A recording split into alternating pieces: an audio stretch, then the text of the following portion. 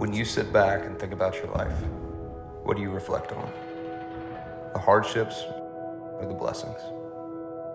The loss or the new beginnings? The failures or the wins? When you make a promise, do you keep it? Heaven knows it ain't easy, keeping them ends tied. But hey, we're keeping the lights on.